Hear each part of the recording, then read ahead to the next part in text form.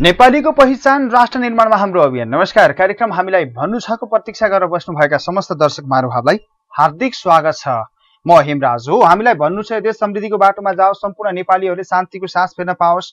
जताततै विकासका मूलहरू फुटुन् दिलभित्र देश बोक्नुभएका करोडौँ नेपालीहरू यो देश निर्माणको निम्ति एक भएर जुटुन्। कुनै एउटा सरकारी कार्यालयमा एउटा सेवाग्राही वा जनता त्यहाँ जाँदैछ भने कुनै एउटा ठुलो हाकिमलाई वा ठुलो मान्छेलाई जदौ गरिराख्न नपरोस्।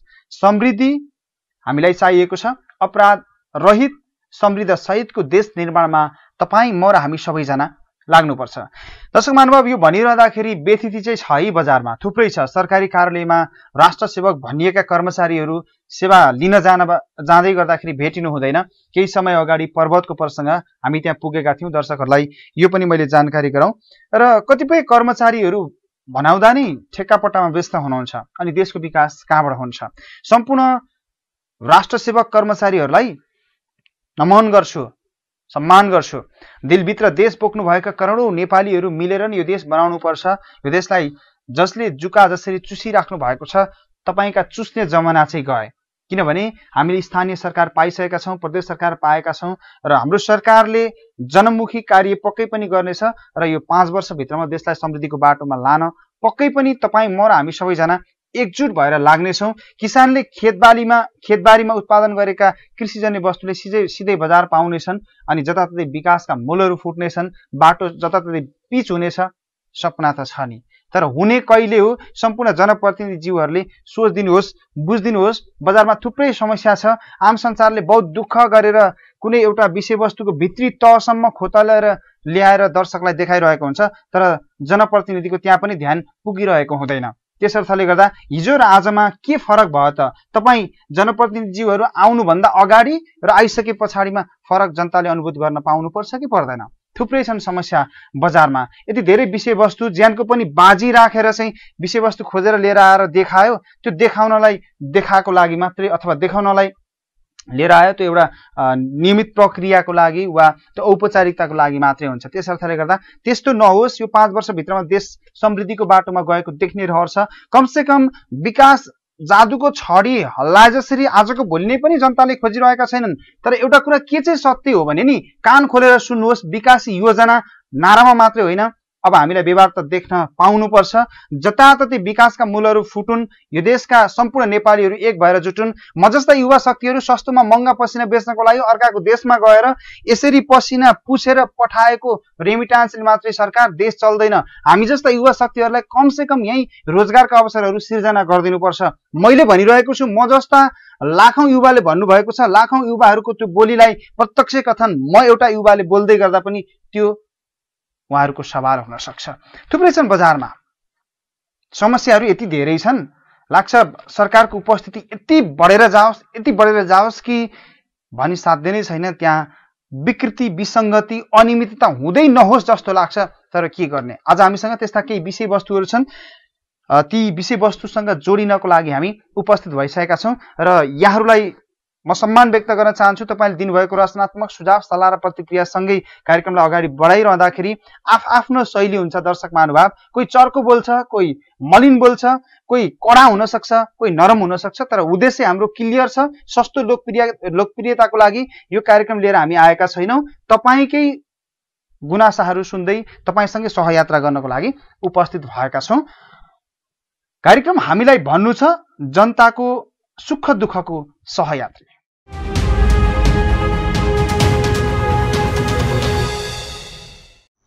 देशलाई राम्रो बनाउनको लागि जसले जहाँबाट जस्तो सुकै राम्रा काम गरे पनि सल्युट भन्नुपर्छ। होला मुख्य काम एउटा हुनसक्छ तर त्यसको सहायक पाटोबाट हामीले अर्को काम गर्न सकिन्छ। नगरपालिकाले गर्ने काम ट्राफिकले गर्यो भन्दा तपाईँलाई अचम्म लाग्न सक्छ तर गरेको सत्य हो। प्रसङ्ग पर्वत जिल्लाको। कुसमा नगरपालिकाले गर्नुपर्ने काम जिल्ला ट्राफिकले गरे पछाडि कस्तो भएछ? एकपटक यो रिपोर्टमा हेर्नुहोस्। नगरको मुख्य मुख्य सडकहरूमा ठुलो ठुलो खाडल परे पनि नगरले खासै चासो नदिएको बेला जिल्ला ट्राफिक प्रहरी कार्यालयले भने सडकका खाडल पूर्ने अभियान थालेको छ। पर्वत जिल्लाको सदरमुकाम कुस्माको व्यस्त सडक शिवालय चुक आसपासमा परेका खाल्डाखुल्टीका कारण धेरै दुर्घटना हुने देखिएपछि प्रहरीले खाडल पूर्ने अभियान थालेको हो। वर्षाका कारण सडकमा सवारी साधन नै पुरिने गरी खाल्डाखुल्टी परेका छन्। प्रहरीको सक्रियतामा ती खाडलमा गिटी र बालुवा हालेर पुरिएको हो। पर्वतको सदरमुकाम कुष्मा बजारका धेरै जसो सडकमा ठुला ठुला खाल्डा परिरहेका छन्। त्यति ठुला खाल्डा परेको समयमा नगरपालिकाले समेत चासो नदिएपछि प्रहरी आफै खाडल पुरेर दुर्घटनाबाट बचाउन लागि परेको छ। जिल्ला ट्राफिक कार्यालय पर्वतका प्रमुख महेन्द्र राणाभाटको नेतृत्वमा सडकका खाल्डा खुल्डीमा गिटी बालुवा हालेर पुरिएको छ। राजमार्गकै सडकमा ठुला ठुला खाडल परेको र सवारी साधनहरू दुर्घटना हुने खतरा बढेका कारण आफूले यो अभियान चलाएको राणाभाटको भनाइ छ। यसले गर्दा तत्कालको लागि दुर्घटनाको जोखिम भने टरेको छ। सदरमुकामकै मुख्य र व्यस्त सडक छेदविच्छेद भएको लामो समयसम्म कुनै निकायले मर्मत नगरेपछि प्रहरी आफै सडक सुधारमा लागेको राणाभाटको भनाइ छ। नगरका मुख्य मुख्य भित्री सडकहरूमा समेत ठुला खाल्डाहरू रहेको र त्यसलाई तत्काल नपुरेमा दुर्घटना निम्तिन सक्ने स्थानीयहरूको भनाइ छ। यस्ता खाडलहरूलाई तुरुन्तै नगरपालिकाले सुल्झाउन स्थानीयवासीले आग्रह समेत गरेका छन्। दर्शकबिन सबैजना मिलेर गर्ने हो भने सम्भव छ। असम्भव भन्ने कुरा चाहिँ केही पनि छैन। यद्यपि ट्राफिकले यो खाडल पुल्दैमा त्यति धेरै ठुलो गरिहाल्नुभयो भनेर उचाल्न खोजेको पटक्कै होइन।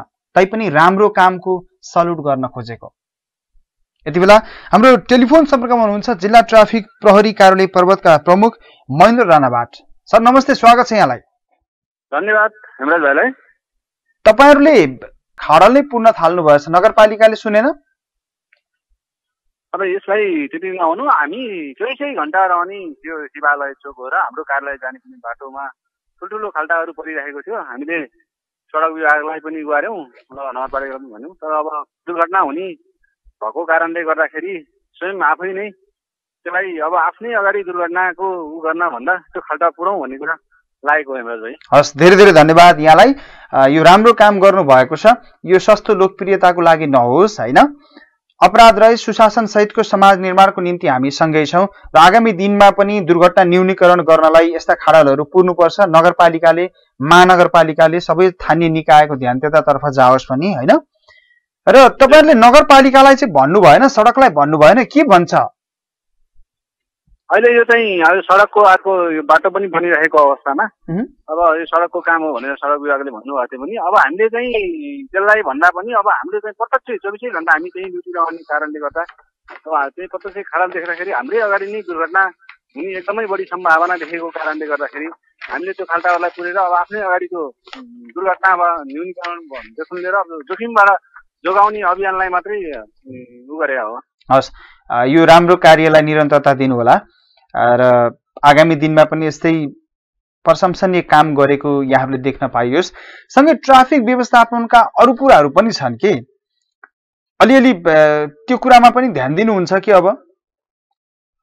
एकदमै। जुन अब हामीलाई भाइले भन्नुभयो हामीले ट्राफिक व्यवस्थापन त त्यो छँदैछ त्यसलाई पनि अब गर्दा गर्दै हामीले अब जुन अहिले सडकको त्यो जुन अहिले अवस्था छ नाजुक छ त्यसलाई पनि आफ्नै कार्यालय अगाडि र अब चौबिसै घन्टा त्यहीँ नै रहने हुँदाखेरि अब अन्य कुराहरू पनि छन् जस्तो सडकको अवस्थादेखि लिएर अब धेरै कुराहरूले गर्दाखेरि पनि अहिले हाम्रो चार नम्बर प्रदेशमा पर्वत ट्राफिकमा सवारी दुर्घटना एकदम न्यून अवस्थामा छ। हस् धेरै धेरै धन्यवाद। उहाँ हुनुहुन्थ्यो जिल्ला ट्राफिक प्रहरी कार्यालय पर्वतका प्रमुख महेन्द्र राणाभाट। हामीसँग कुराकानी गर्नुहुँदै। थुप्रै छन् समाजमा समस्याहरू। समस्या छन् भन्दैमा हामी समस्याबाट पन्छेर हिँड्नु हुँदैन। यद्यपि तिनीहरूको समस्याको समाधान गर्नको लागि चाहिँ हामी सबैजना एकजुट भएर लाग्यो भने सम्भव छ। हामीसँग स्थानीय सरकार छ स्थानीय तह छ होइन? त्यस अर्थले गर्दा चाहिँ प्रदेश सरकार स्थानीय तह सबै मिलेर गऱ्यो भने सम्भव त छ नि। थुप्रै समस्याहरू छन् दर्शक महानुभाव। हामीले भन्न खोजेको यो हो कि देशलाई समृद्धिको बाटोमा लानको निम्ति कसैले पनि कुनै पनि ठाउँमा नरोकौँ। विकास निर्माणका कार्य रोक्ने अधिकार कसैलाई पनि छैन र विकास निर्माणको कार्यमा लाग्छु भन्ने मान्छेलाई पनि उत्प्रेरणा जगाउनुपर्छ। होइन भने यो कपाल कालो हुँदै देश समृद्धिको बाटोमा गएको देख्ने रहर चाहिँ मात्र केवल सपना मात्रै हुन्छ रहर मात्रै हुन्छ। हामी जस्तै युवा शक्तिहरू थुप्रै वैदेशिक रोजगारको लागि विदेशमा पुग्नु भएको छ। उहाँले पठाएको त्यो रेमिटान्सले मात्रै देश चल्दैन सरकार। हामीले भन्न खोजेको यही हो यही देशमा रोजगारका अवसरहरू सिर्जना गर्नुपर्छ। र जति पनि राष्ट्र सेवक कर्मचारी हुनुहुन्छ नि जति पनि यो देशलाई तिलमा राखेर लाग्नुभएका नेपाली जनता राष्ट्र सेवक कर्मचारी सबै हुनुहुन्छ नि? सल्युट गर्छु यहाँहरू सबैलाई। तर देशलाई जुका जसरी चुस्नेहरू हो तपाईँको चुस्ने जमाना चाहिँ गयो अब। पक्का गए। किन? जनता जागरुक भएर उठिसक्नु भएको छ। एक्काइसौँ शताब्दीका हामी नेपाली हौँ। र प्रसङ्ग अर्को जोड्न चाहन्छु। थुप्रै समस्या हुँदै गर्दाखेरि समस्याबाट टाढा त झन् तनाउ पनि कहाँ थियो र? थुप्रै वर्ष मेहनत गरेर विद्यार्थी विद्यालयमा पढ्छ। यद्यपि ऊ अन्तिममा विद्यालय छोडेर जाँदै गर्दाखेरि चर्को मूल्यमा उसले चारित्रिक प्रमाणपत्र लिनुपर्छ। सामाजिक सञ्जालमा मैले एउटा विषयवस्तु भेटाएँ र त्योसँग जोडिएर हामी एउटा रिपोर्ट तपाईँलाई प्रस्तुत गर्दैछौँ। प्रसङ्ग शुक शुक्ला गण्डकी नगरपालिका वार्ड नम्बर पाँचको ब्राइट फ्युचर स्कुलको यो रिपोर्टमा हेर्नुहोस्। गण्डकी नगरपालिका पाँच बेलचौतारा स्थित एउटा निजी विद्यालय ब्राइटर फ्युचर माध्यमिक विद्यालय हो। यो त्यही विद्यालय जहाँ सयौं विद्यार्थीहरू अध्ययन गर्ने गर्छन्। विद्यार्थीहरू आफ्ना भविष्यका कैयौं पाटा र बाटाहरू खोज्ने गर्छन् र यो त्यो पनि विद्यालय हो जहाँ अभिभावकहरूले आफ्ना छोराछोरीको पढाइका खातिर चर्को मूल्य तिरिरहेका छन्। तनहुकी एक छात्राले यसै वर्ष सोही विद्यालयबाट कक्षा दस अर्थात् एसई पास गरिन्। पढाइमा निकै निखार र तीक्ष्ण क्षमताकी उनले एसईमा तीन दशमलव सात जिपी अर्थात् ए प्लस अङ्क समेत ल्याइन्।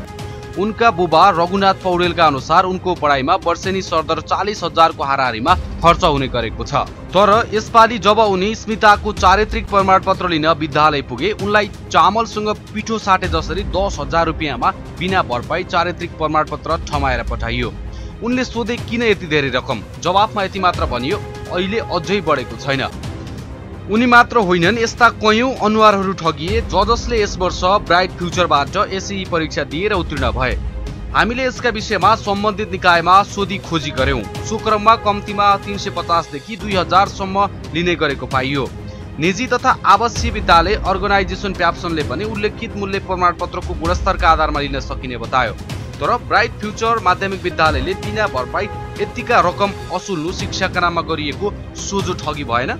नैतिक भ्रष्टाचार भएन यसमा हाम्रो गम्भीर आपत्ति छ।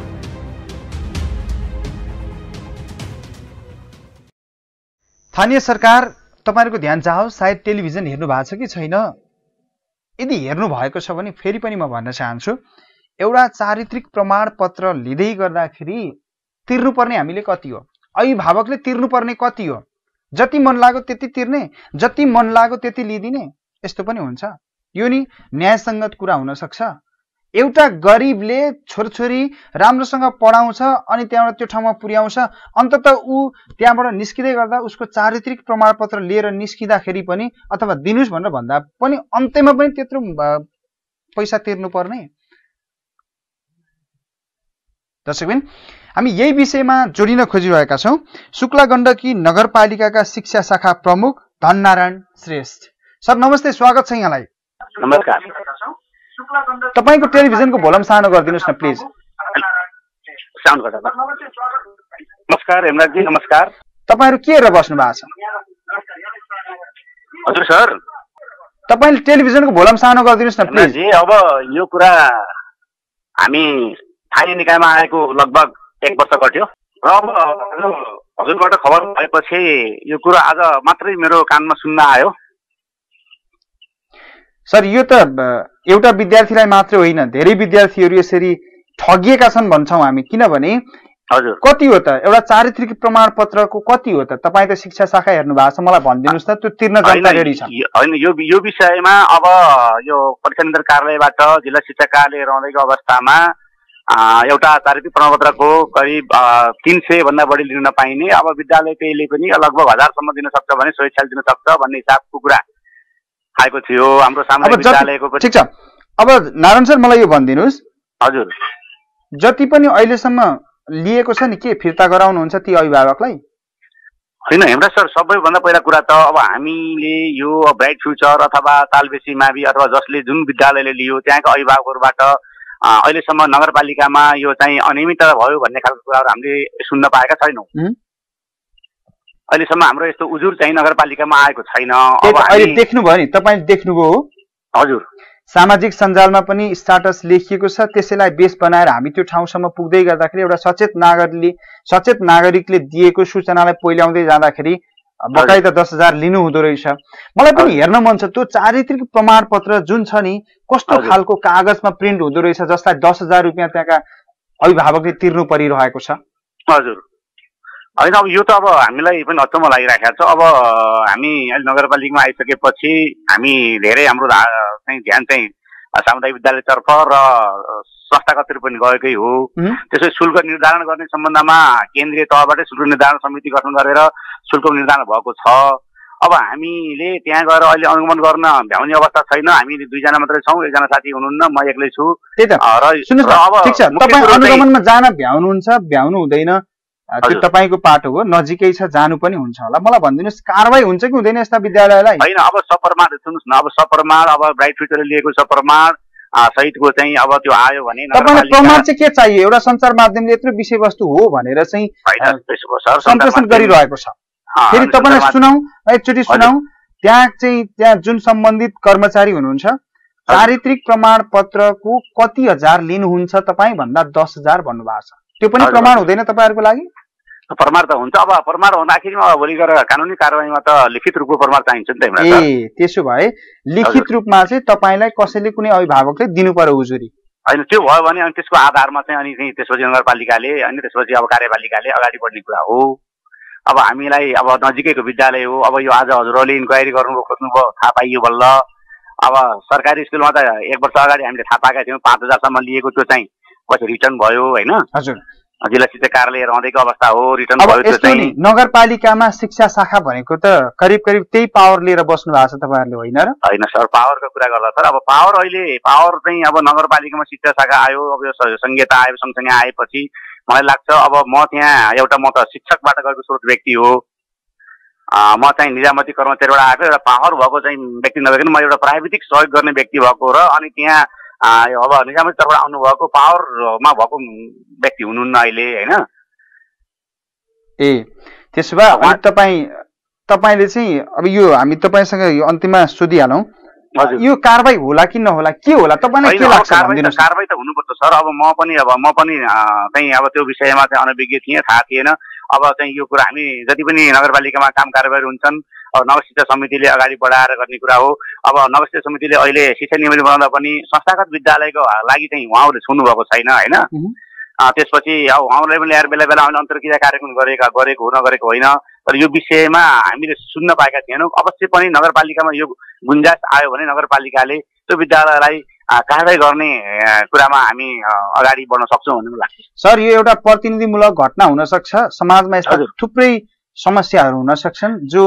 अभिभावक यो वा त्यो बहानामा यसरी वा त्यसरी डराएर होस् वा लजाएर होस् यस्ता कुराहरू कमै मात्र बाहिर आउने गर्छन्। त्यस अर्थले गर्दा तपाईँहरूको अनुगमन चुस्त दुरुस्त र सक्रिय रहोस् र यो विद्यालयको हामीले उठाएको विषयवस्तु यसको विषयमा के हुन्छ आगामी दिनमा हामी पक्कै फलो गर्नेछौँ। यो समय र हस्। संवादका लागि यहाँलाई धन्यवाद।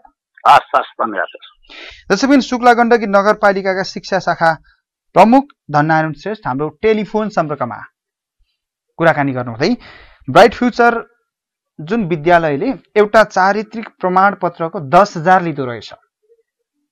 दस हजार! Not a joke! महिनाभरि मेहनत गर्नुपर्छ। दस हजार कमाउनको लागि यति भन्यो। र शुक्ला गण्डकी नगर प्रमुखलाई पनि हाम्रो अनुरोध यो रह्यो। मेयर साहब यस्तो भइरहेको छ तपाईँको नगरमा। तपाईँले चासो दिने होइन? हिजो जनताले स्वस्तिक छाप लगाएर जिताएर तपाईँलाई त्यो ठाउँमा पुर्याउनु भएको छ। कृपया जनपक्षीय काम गरिदिनुहोस् कि एउटा चारित्रिक प्रमाणपत्रको लागि मलाई लाग्छ दस दस हजार तिर्न आवश्यकता छैन। र तिर्नु के कति कारणले? हामीले यो विषयमा ब्राइट फ्युचरको धारणा पनि लिन खोजिरहेका छौँ। ओके। दर्शकबिद हामीले उहाँको प्रतिक्रिया लिन खोज्यौँ। बोर्डिङ स्कुलका सञ्चालक डाक्टर चन्द्रबहादुर थापालाई सम्पर्कमा ल्याउने कोसिस गऱ्यौँ। यद्यपि उहाँले म बोल्दिनँ भनेर फोन राखिदिनु भयो धन्यवाद डाक्टर साहब यहाँलाई। र पैसा जसले तिर्नुभयो उहाँ हाम्रो सम्पर्कमा आउनुभएको छ। हेलो नमस्ते। हेलो नमस्ते। हजुरको परिचय दिनुहोस् न। म रघुनाथ पौडेल। हजुर। शुक्ला गण्डकी तिन। शुक्ला गण्डकी तिनमा बस्नुहुन्छ। तपाईँको बच्चा ब्राइट फ्युचरमा पढ्नुहुन्थ्यो? हजुर हजुर। ओके के के भएको भनिदिनुहोस् न? सम्पर्कमा आइदिनु भएको छ। ए होइन म मेरो बच्चा छ क्लासबाट ब्राइट फ्युचरमा पढ्छ। मेरो नानी। त्यहाँबाट अहिले एसएससी दिएर त्यहाँबाट उत्तीर्ण भइसकेपछि स्कुलले दिने चारित्रिक प्रमाणपत्र जुन। विद्यार्थीले त्यो स्कुलमा पढ्दछ।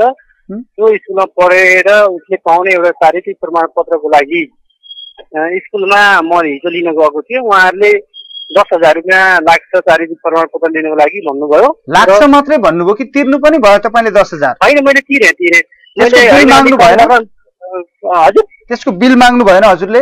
बिल त दिन मिल्दैन। बिल भनेको यही चारित्रिक प्रमाणपत्र हो भन्नुभयो। ए ओके। त्यसपछि बिल दिन मिल्दैन अरे यही चारित्रिक प्रमाणपत्र हो बिल भन्नुभयो उहाँले। हजुर हजुर हजुर। त्यसपछि मैले केही डिस्काउन्ट गर्न मिल्छ भने डिस्काउन्ट गरिदिनुहोस् भनेपछि होइन हामीले तिन चार वर्ष पहिलादेखि नै यही रेट लिइरहेको छौँ। अहिले त बढाउनु पर्ने हो बढाएको छैन। यो तिर्नुपर्छ भनेर उहाँले भन्नुभएपछि अनि मैले चाहिँ म्यामलाई दस हजार रुपियाँ पैसा तिरेर त्यसपछि उहाँले मलाई त्यो प्रमाणपत्र दिनुभयो र अनि मैले लिएर आएर मेरो बच्चालाई पठाएको हो।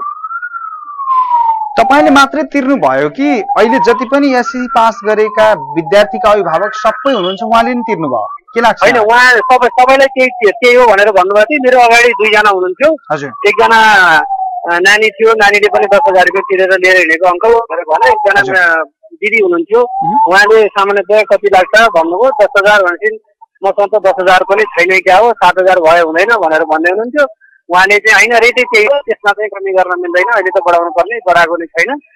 त्यही तिर्नुपर्छ भनेर भनेपछि उहाँले गनी गनी बिचरा फोटोको फुकाइ फुकाइ पनि दस हजार रुपियाँ तिरेर उहाँले लिएर गइसकेपछि मेरो पालो आयो अनि मैले पनि दस हजार रुपियाँ पैसा तिरेर लिएर हिँडेँ हो। सबैलाई यही रेट हो कसैलाई पल्लोमाथि हुँदैन भनेर उहाँले भन्दै हुनुहुन्थ्यो हजुरको परिचय दिनुहोस् न एकपटक।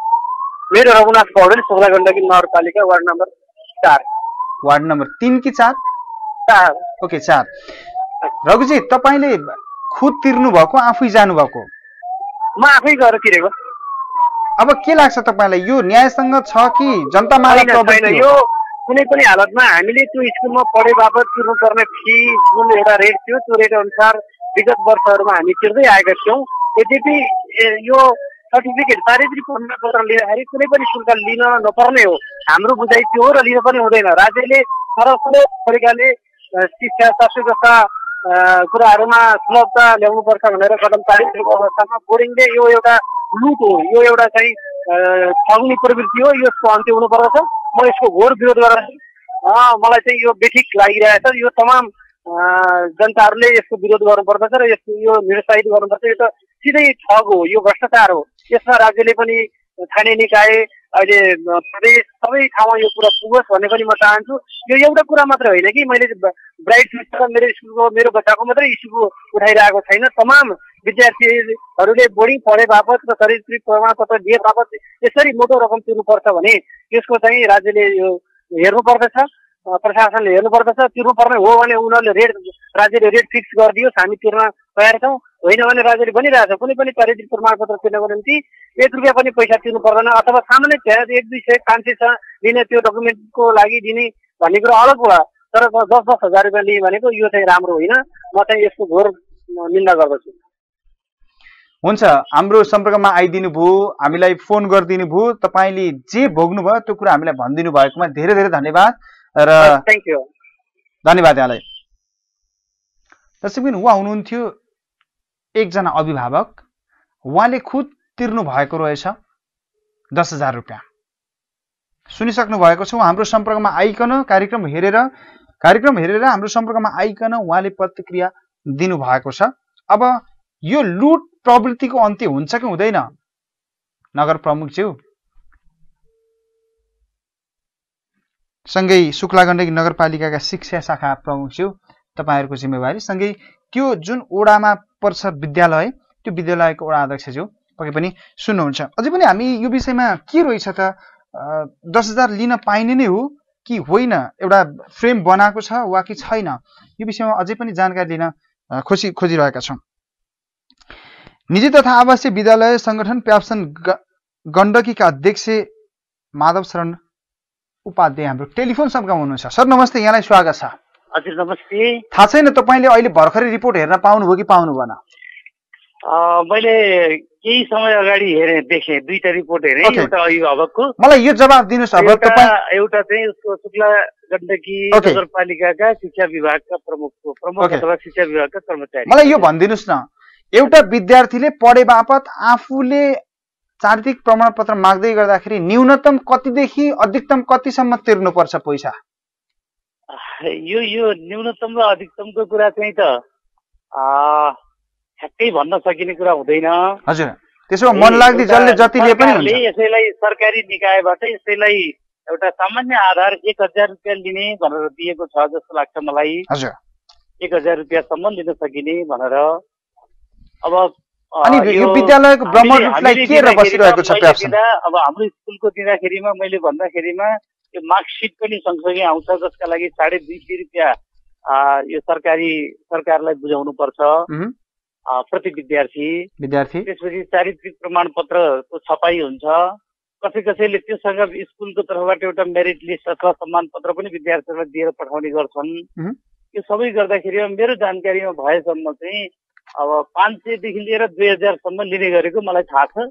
हामीले पनि प्राप्सन अन्तर्गत सामान्यतया दुई हजारभन्दा बढी नलिने भन्ने किसिमको कुरो प्राप्सनको कार्य समिति चाहिँ के अरे यो उसमा। मैले यही प्रश्न यहाँलाई गरिहालेँ। ब्राइट फ्युचर हामीले अन्तर्गत सामान्य आधार बनाएको। ओके माधव सर मलाई यो भनिदिनुहोस् न ब्राइट फ्युचर जुन शुक्ला गण्डकी नगरपालिकामा छ नि हजुर। त्यो तपाईँहरूसँग आबद्ध अथवा तपाईँहरूको झन्डा मुनि छ कि छैन? अब प्याप्सनकै सदस्य विद्यालय हो। प्याप्सनकै सदस्य विद्यालय हो भने तपाईँ यो गरिमामय पदमा बस्नु भएको छ।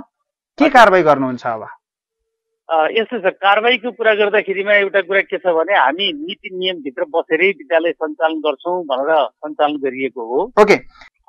यस्तो छ निर्देशिका भनेको नेपाल सरकारले जे निर्देशिका बनाएको छ जे नीति नियम बनाएको छ त्यसैको मातहतमा हामी बस्ने हो। त्यसो भए नेपाल सरकारले दस हजार रुपियाँ चारित्रिक प्रमाणपत्रको लि भनेर त नीति बनाएको छैन होला। निर्देशिकामा छैन होला। छैन। यसबारेमा जहाँसम्म मैले दुईटा रिपोर्ट तपाईँहरूकोबाट प्रसारित अहिले सुने त्यसबाट हेर्दाखेरिमा किन एउटा सामुदायिक विद्यालयले पनि योभन्दा अगाडि पाँच हजार लिएको भनेर आयो कुरो। आयो तर फिर्ता गरिएको पनि भन्ने कुरा भने त्यसलाई त्यसलाई अनुगमन गरेर त्यसलाई निराकरण गर्नुपर्छ। अनियमितता हुन हुँदैन? र जुनसुकै शुल्कको पनि एउटा शिक्षा कार्यालयसँग अब अहिले आएर नगरपालिकाको शिक्षा विभागसँग स्वीकृति लिएर मात्रै हामीले लिन पाउने कुरा हुन्छ। त्यहाँ पनि त्यो पद्धति अप्नाइएको हुनुपर्छ। त्यो पद्धति अपना सुन्नु न अनुगमन स्वीकृति लिएर। माधव सर स्वीकृति। लिएर त्यो पद्धति अपनाइएको हो भने हजुर। धननारायण श्रेष्ठ सरले के भन्नुभएको? त्यहाँको त शाखा प्रमुख नै हुनुहुन्छ शिक्षा शाखा प्रमुख। उहाँलाई त थाहा। हुनुपर्ने होला त्यो त विषय। उहाँले उहाँलाई थाहा हुनुपर्ने भन्नाले यदि उहाँले पनि भनेको कुरा सही हो कसैले उजुरी नगर्दासम्म त सबैको थाहा हुँदैन। या त विद्यालयले पेश गरेको त्यो प्रस्तावमा थाहा हुन्छ प्रस्तावबाट? या त फेरि कसैले अनियमितता गरेको छ भने कसैले शिकायत त गर्नै पर्यो कुरा गर्नै पर्यो। आज जसरी यहाँले प्रसारित गरेको समाचारबाट थाहा भयो उहाँले पनि थाहा पाउनुभयो हामीले पनि थाहा पाइयो। हामीलाई पनि अब। प्यासनले चाहिँ यस्ता विद्यालयलाई के गर्छ? प्याप्सनले एउटा आफ्नो आचार संहिताभित्र बस्नुपर्छ भनेर दबाब दिने हो एउटा कुरो। पहिलो कुरा। त हामीले बुझ्नु पर्यो आचार संहिता उल्लङ्घन हुँदै गयो भने त फेरि सदस्यताबाट पनि त निकाल्न मिल्छ होला नि? भन्दैन विधानले? निश्चित रूपमा सदस्य सदस्य हुनका लागि पनि एउटा निश्चित आचार संहितामा बस्नुपर्ने हुन्छ। त्यो आचार संहिताभित्र बस्न सकिएन भनेदेखि सदस्य हुनुको अर्थ रहँदैन। तर अहिलेको हकमा जहाँसम्म मलाई लाग्छ अभिभावकजीले पनि भन्नुभयो त्यहाँबाट रसिद दिइएन रसिद त झन् दिनुपर्ने हो। रसिद नै। चारित्रिक प्रमाणपत्र जुन स्क्रिनमा हामीले देखाइरहेका छौँ।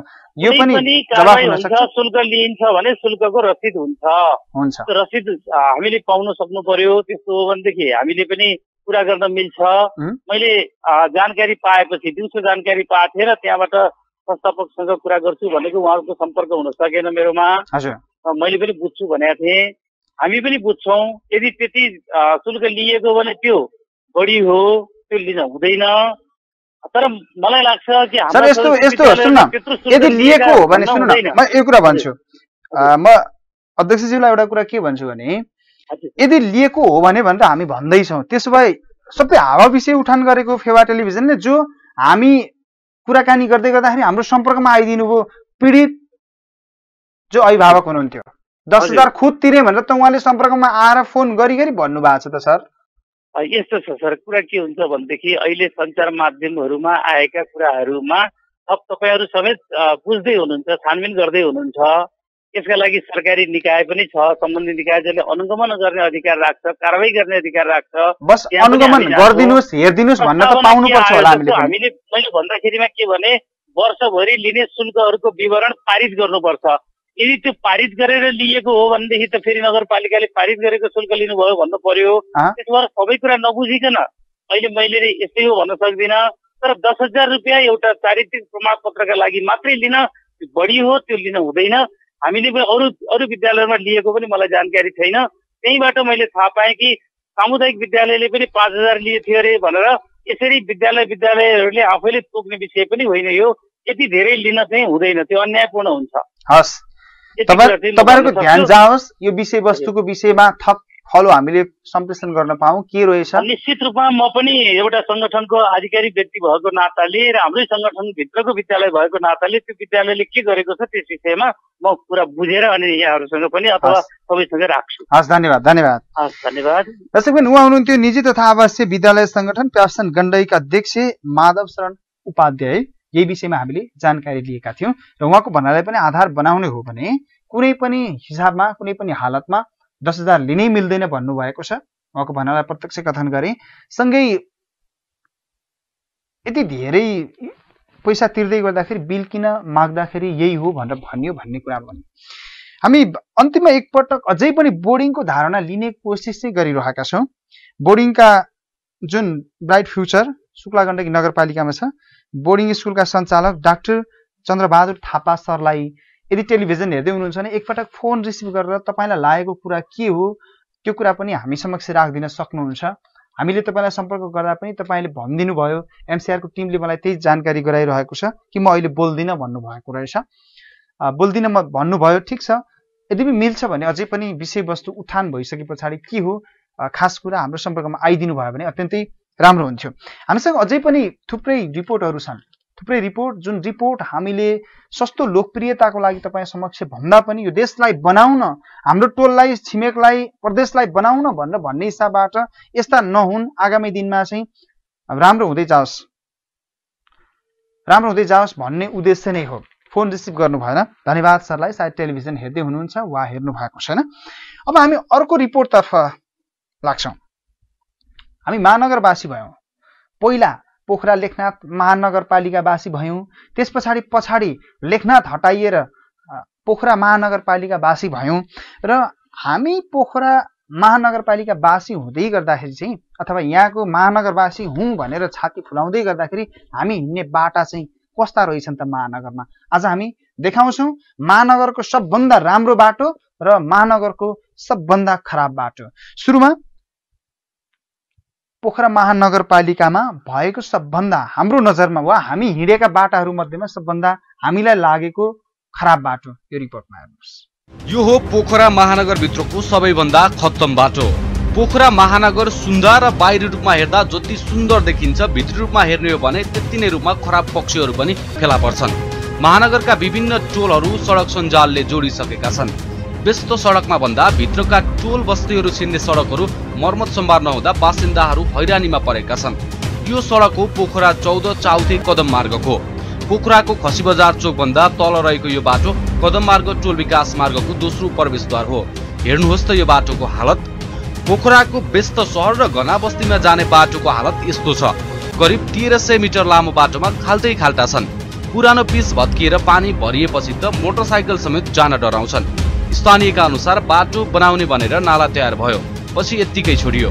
बाटो पिच हो कि भर्खर खनेको हो ठम्ब्याउन गाह्रो छ। हिलाम्मे सडकबाट पार गर्दा कुनै गाउँ बस्तीको बाटो हिँडेको महसुस स्थानीयले गरेका छन्। अझ पानी परेको बेला त यो बाटो पैदल हिँड्न समेत सकिँदैन। सवारी साधनको बाक्लो चाप हुने बाटोको यो हालत लिएर टोल विकास समितिका पदाधिकारी धेरै पटक वडा कार्यालय र महानगरपालिका धाए तर कुनै सहयोग पाएनन्। सांसद मानबहादुर गुरुङ र खगराज अधिकारीले त चुनाव अगाडि नै यो बाटो बनाउने घोषणा गरे तर चुनाव जितेको यतिका समयसम्म पनि उनीहरूले केही पार गर्न सकेका छैनन्।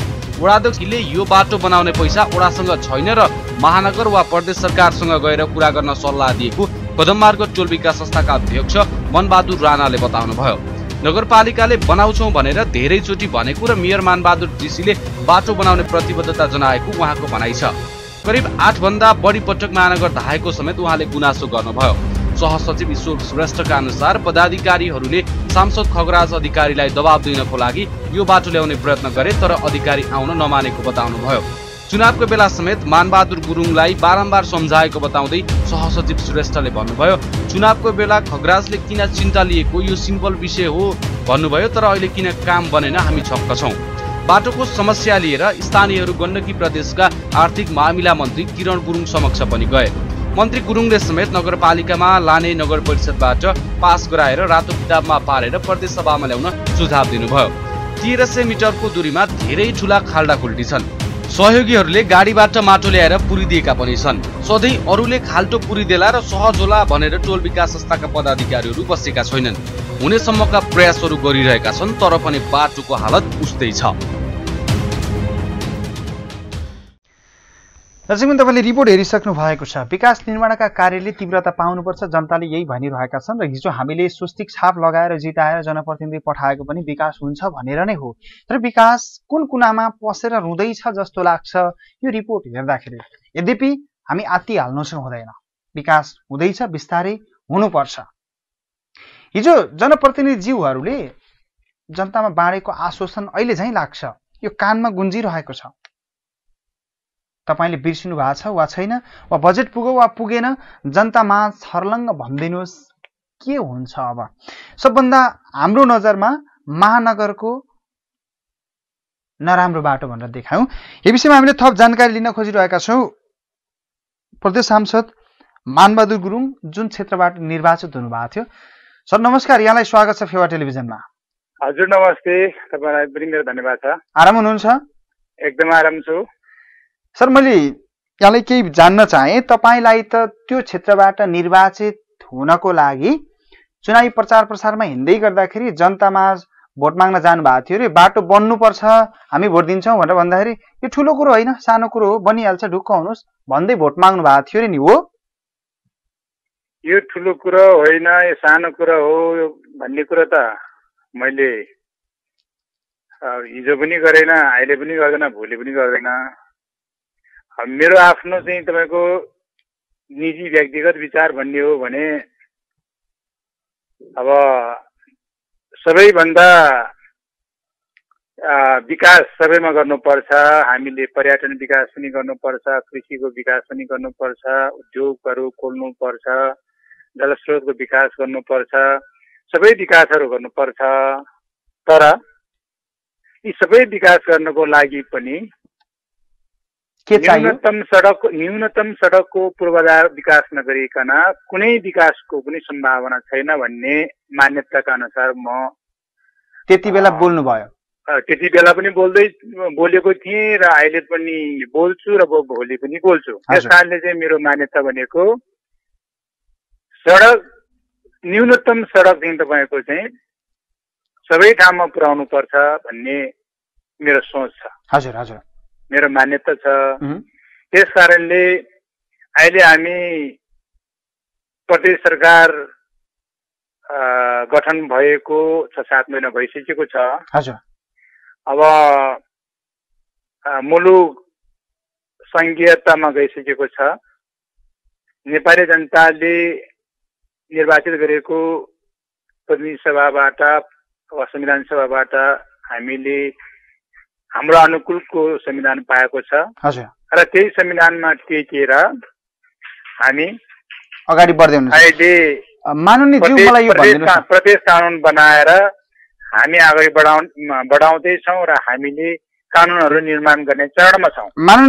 कानुनहरूमा टेकेर हामी विकास निर्माणमा अगाडि बढ्छौँ। माननीयज्यू म ठ्याक्कै विषयवस्तुमै गएँ है। महानगर पोखरा महानगर वार्ड नम्बर चौध जुन चाउथे जसलाई कदम मार्ग पनि भनिन्छ होइन?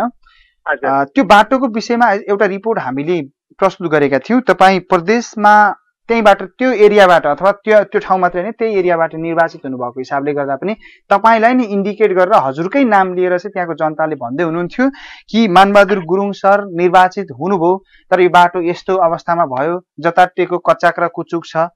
भन्दै गर्दाखेरि तपाईँलाई नै हामीले फोन गरेका हौँ कि अब त्यहाँको जनता हेरेर बस्नु भएको छ के भनिदिनुहुन्छ कि त्यही त्यही शब्द दोहोऱ्याइदिनुहुन्छ? अब कदममा त्यो त्यही त। म कदम मार्गको बारेमा अब तपाईँले विषय उठाउनु भयो। मेरो आफ्नो क्षेत्र पनि हो। त्यो महानगरपालिकाभित्र पनि पर्छ। यो त्यो त्यो बाटो बनाउनु पर्छ भन्ने हिजो पनि मैले भनेको थिएँ। आज पनि भन्दैछु र म भोलि पनि बनाउ भोलि पनि बनाउनु पर्छ। भन्छु। र त्यति मात्र होइन। यो चाहिँ तपाईँको चाहिँ मैले प्रत्यक्ष त्यहाँको जनताले अहिले पनि हेरिराखेको हुनसक्छ सुनिराखेको हुनसक्छ। महानगरपालिकासँग निकोसिएसन गरेर। त्यो बाटो बनाउनु पर्छ बनाउँछु भन्ने एउटा योजनाका साथमा अगाडि बढेको छु। त्यति। मात्र होइन प्रदेश सरकार यदि महानगरपालिकाबाट पनि हुँदैन भने म प्रदेश सरकारबाट जसरी पनि तपाईँको चाहिँ त्यो बाटोलाई बनाउनु पर्छ यही वर्ष बनाउनु पर्छ भन्ने लक्ष्यका साथ अगाडि बढेको छ। त्यस कारणले तुरुन्तै तुरुन्तै बनाउन सकिएन होला। अब तुरुन्तै अब बर्खा अहिले बर्खाको टाइम छ। योजनाहरू भर्खर चाहिँ तपाईँको चाहिँ अब बजेट प्रस्तुत गरिसकेको छ। योजनाहरू अब छनौट भइ भइसकेको छ। त्यस कारणले अब केही समयपछि त्यसको बारेमा अगाडि बढ्ने कुरामा हिजो पनि बढेको छु र आज पनि बढ्छु र भोलि पनि बढाउँछु। त्यहाँको त्यही त। जनता ढुक्क भयो हुन्छ। आफ्नै कार्यकालमा त्यो बाटो महानगरपालिकाको त्यहाँको वडा अध्यक्षसँग सरसल्लाह गरेर मेयर साहबसँग समन्वय गरेर प्रदेशसँग समन्वय गरेर पनि त्यो बाटो जसै पनि बनाउँछु। त्यो मेरो चाहिँ तपाईँको चाहिँ एउटा प्रतिज्ञा पनि हो। मैले हिजो पनि बोलेको छु र आज पनि बोल्छु र भोलि पनि बोल्छु। यदि त्यो चाहिँ तपाईँको बाटो हिजो नबोलेको भए पनि म मेरो बनाउने मेरो आफ्नो कर्तव्य हो। संसदमा उठाउने मेरो कर्तव्य हो। योजनामा समावेश गराउने मेरो कर्तव्य हो। त्यस कारणले त्यो बाटो चाहिँ बनाउँछु ढुक्क भए हुन्छ। हस् त्यो बाटोसँगै तपाईँको निर्वाचन क्षेत्र जति पनि छ त्यहाँका जनताहरूले तपाईँसँग विकासको ठुलो आश गर्नु भएको छ बोली र व्यवहार चाहिँ एउटै देख्न पाइयोस्। माननीयज्यूलाई धेरै म सकेसम्म म चाहिँ बोली र व्यवहार एउटै गर्छु। हजुर। मैले नसकेको काम गर्दिनँ। मेरो प्रायोरिटीमा मेरो पहिलो प्रा- प्राथमिकता मैले पहिलो प्राथमिकता प्रदेशले पर्यटन विकासलाई पहिलो प्रायोरिकता ठान्छ भने पनि महानगरपालिकाले पर्यटक पोखरालाई पर्यटकीयको चाहिँ एउटा हब बनाउँछु सदरमुकाम बनाउँछु भने पनि अन्त्यमा त्यो बाटो चाहिँ तपाईँको न्यूनतम पूर्वाधार भनेको नभई हुँदैन। त्यसैले त्यो सडकको न्यूनतम पूर्वाधार बनाउनु पर्ने भएको हुनाले महानगरपालिकाको चासो पनि छ प्रदेशको चासो पनि छ मेरो चासो पनि छ र राजनीतिक दलको चासो पनि छ र जसरी त्यहाँको जनताले चिन्ता गरिरहेको छ नेताहरूको चिन्ता पनि छ त्यहाँको वडा अध्यक्षले चिन्ता गरिराखेको छ त्यहाँको राजनीतिक कार्यकर्ताले चिन्ता गरिराखेको छ। त्यस कारणले यो हाम्रो अब यो पक्का कर्तव्यभित्र पर्ने भयो हुनाले मैले फेरि पनि तपाईँको दोहोऱ्याएर भने त्यो चाहिँ टुक्काउनुहोस् त्यहाँको जनता जसरी पनि बनाउन बनाउने कुरामा हामी लाग्नेछौँ। हस् माननीयज्यू हामीलाई यो प्रतिबद्धता गर्दै गर्दा लाखौँ दर्शकले लाइभ कार्यक्रम हेरिरहनु भएको छ। यहाँहरूको बोली र व्यवहार एउटै होस् हामीलाई विकास चाहिएको छ अपराध रहितको सुशासन सहितको देश चाहिएको छ। धेरै धेरै तपाईँले। तपाईँले केही समयपछि यसको बारेमा के हो भनेर चाहिँ चासो लिएर फेरि मसँग यस्तै गरे पक्का हस् धेरै धेरै धन्यवाद। म फेरि तपाईँकै रेडियो मार्फत तपाईँकै टेलिभिजन मार्फत आएर फेरि बोल्नेछु। हस् धन्यवाद धन्यवाद धन्यवाद। हुनुहुन्थ्यो प्रदेश सांसद मानबहादुर गुरुङ। हामीले उहाँसँग प्रतिक्रिया लिँदै थियौँ। चुनावी रणको बेलामा उहाँले जनतालाई दिनुभएको आश्वासन जनताले त्यसको प्रतिक्रिया खोज्न थाल्नुभयो। यद्यपि त्यो एउटा पाटो भयो भने अर्को कुरा चाहिँ आम उपभोक्ताले वा आम सेवाग्राही वा आम जनताले बाटो हिँड्दाखेरि त्यस्तो बाटो हेर्नुहोस् न। महानगरको सबभन्दा हाम्रो नजरमा है सबभन्दा खत्तम बाटो अर्थात् महानगरको भन्दा पनि यो यो सिटी एरियाको महानगर भन्ने बित्तिकै फेरि यो महानगरमा पनि कर्णाली छ। थुप्रै कर्णाली छ। मैले दर्शकहरूलाई ती विषयवस्तुहरूमा पनि आगामी दिनमा कुरा गर्दै जाउँला। यो महानगरको सिटी एरियाभित्रको अलिक खराब बाटो भनेर हामीले भनेका छौँ अर्थात् बिग्रिएको बाटो भनेर भनेका छौँ। महानगर भनेर भनिसकेपछि थुप्रै वडाहरू छन्। यी वडामा अथवा ग्रामीण इलाकामा जाने बाटाहरूको त छन् कुरै नगरौँ। तपाईँको कोत्रेबाट पोखरासम्म आउँदाखेरि जस्तो सुकै निधाको मान्छे पनि जति सुकै निन्द्रा लाग्ने औषधि खाएर सुतेको मान्छे पनि पोखरासम्म आइपुग्दाखेरि त्यो गाडी अथवा त्यो रोडमा थतर्किँदा थतर्किँदै उसले खाएको औषधिले पनि छोडिसक्छ त्यो मान्छे बिउजिन्छ उसलाई निन्द्राले छोडिसक्छ। त्यति धेरै खाडलहरू छन्। सम्बन्धित निकाय सडक डिभिजन सडक विभाग महानगर सबैको ध्यान चाहिँ जाओस्। कमसेकम हामीले कर तिरेका छौँ बाबा। कर कर तिरे बापतको हामीले पाउनुपर्ने कुरा त पाउनु पर्यो नि होइन र? अब अर्को रिपोर्टतर्फ लाग्छौँ। हाम्रो नजरमा यो सिटीभित्रको राम्रो मानिएको महानगरको सडक कुन रहेछ त? हेर्नुहोस् यो रिपोर्ट पछिल्लो समय विकास निर्माणका कामले तीव्रता पाएका छन्। स्थानीय सरकार भएपछि विकासले तीव्रता लिएको छ। हामीले पहिलो रिपोर्टमा देखाइसकेका छौँ महानगरको खराब सडक। अब हामी तपाईँलाई देखाउँदैछौँ पोखरा महानगरको सबैभन्दा राम्रो सडक। यो हेर्नुहोस् त बाटो।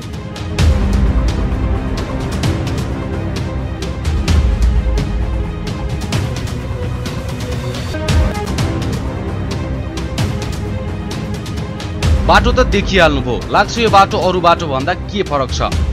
के राम्रो छ? निहालेर हेर्नुहोस् यो बाटोको दायाँ बायाँ गमलामा फुल र बोट बिरुवा रोपिएको छ। एक सय एकहत्तर मिटर लामो बाटोको दुवै छेउमा बिरुवा छ। फुल र बिरुवा टिप्छन् कि भनेर सिसी क्यामेरा समेत जडान गरिएको छ। पोखरा सत्ताइस लेखातमा रहेको गोल्डेन मार्ग हो यो। गोल्डेन मार्गका अध्यक्ष बेदराज नेउपानेको पहलमा यो बाटो निर्माण भएको हो। सामाजिक सेवामा अनवरत नेउपानेले आफ्नै खर्चमा बाटोको लागि सिसी क्यामेरा समेत जडान गर्नुभएको छ। बाटोमा कसैले फुल चिप्ने र बिरुवा भाँच्ने गर्छन् कि भनेर सिसी क्यामेरा जडान गरेको उहाँले बताउनुभयो। करिब पच्चिस घर लाभान्वित हुने यस बाटो सम्भवतः पोखराको अत्यन्तै सुन्दर बाटो हो।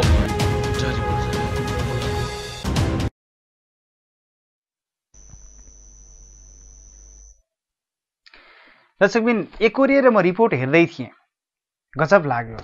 हरियाली बाटो कस्तो मजाले पिच भएको छ। यो देशको हरेक ठाउँमा कच्ची सडक छ नि यस्तै पिच भएको देख्ने रहर छ सरकार हामीलाई। हामीलाई यही देशमा बसेर हामीले केही गर्नुपर्ने छ हाम्रो कपाल कालो हुँदै यो देश समृद्धिको बाटोमा गएको देख्ने रहर छ सरकार हामीलाई। सस्तोमा महँगा पसिना बेच्नको लागि अर्काको देशमा मात्रै होइन कि यही देशमा पसिना बगाएर यही देशको विकास गर्नु छ अनि नेपाल आमाको अनि हाम्री आमाहरूको आँसु पुस्नु छ सरकार हामीलाई। थुप्रै युवा शक्तिहरू विदेशमा पुग्नु भएको छ। विकास निर्माणको कार्य राम्रो छ। जुन मनहरू त्यहाँ लाग्नुभयो जो जो जति एउटा त्यो अलकत्र हाल्ने कर्मचारी वा कामदारदेखि लिएर त्यो चाँजो पाँजो मिलाएर ती बोट बिरुवा रोप्ने सबैलाई सम्मान छ हाम्रो। र यो विषयमा हामी थप जानकारी लिन खोजिरहेका छौँ। देवराज नेउपाने हामीसँग हुनुहुन्छ गोल्डेन मार्गका अध्यक्ष। सर नमस्कार स्वागत छ यहाँलाई। नमस्कार सर। यस्तो गजबको रोड बनाउनु भएको रहेछ। म एकचोटि आउँछु आफै हेर्न। हजुर सर। आराम हुनुहुन्छ? हजुर हजुर आरामै छ। विकास निर्माण कार्यमा यस्तै गरी हामी सबैको ध्यान जाने हो भने र सबै ठाउँमा चाहिँ गर्छु भनेर लाग्ने हो भने सम्भव त रहेछ नि होइन?